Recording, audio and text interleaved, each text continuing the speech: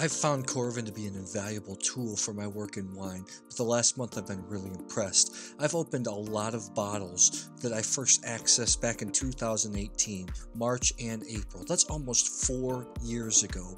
I've opened delicate wines like Pinot Noir, Chardonnay, among others. And you know what? Out of the eight bottles I've opened so far, all of them have shown really well, showing no signs of spoilage or oxidation.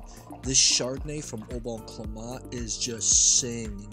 And now I'm even a bigger fan of Coravin than I ever was. I didn't think that'd be possible.